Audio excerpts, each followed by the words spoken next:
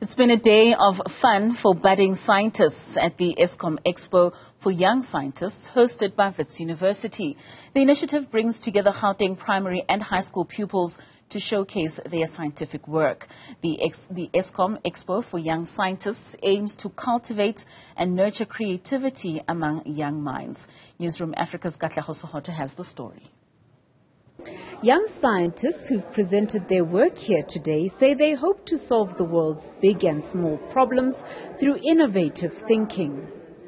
Uh, my project is about um, solar traffic, solar powered traffic lights. So I think it, it is going to be, it is needful for, for, South Africa since we are experiencing a lot of load shedding.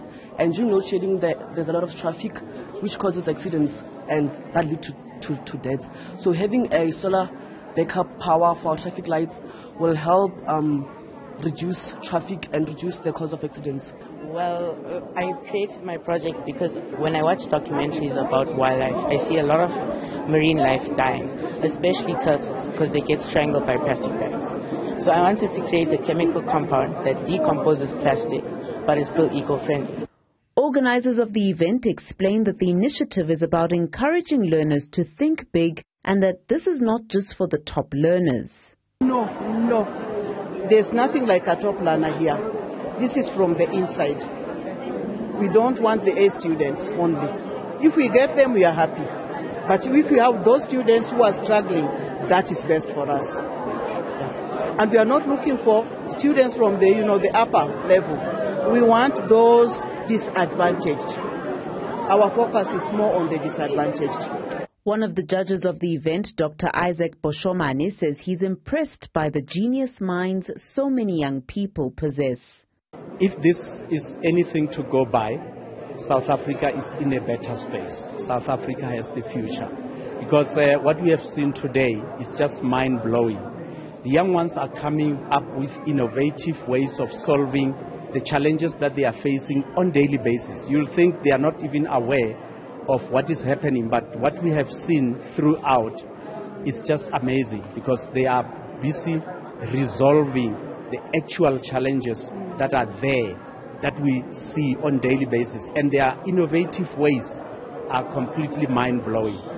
Educators attending alongside learners have expressed their encouragement at seeing young people taking an interest in the sciences. I think one of the things that inspires me the most, whenever I see them, I see the future doctors, the future engineers. So whatever challenges they're going through, so I see as a learning curve for them.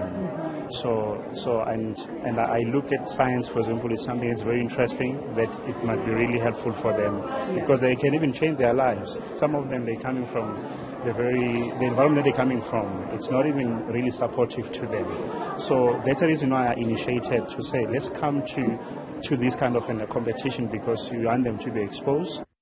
It appears that the kids may just have the solutions to some of the country's most pressing problems. So I enjoy science because when I um, grow up, I want to be a doctor and I like experiments and stuff. And our project is called Wish Wash Wins, and it's basically comparing the liquid and the powder deter- detergent to see which one cleans better and which one is more cost effective. It will be exciting to see where the young minds who've invented all sorts of solutions here today find themselves several years from now. For Newzroom Afrika on Channel 405, I'm Katleho Sekhotho in Johannesburg.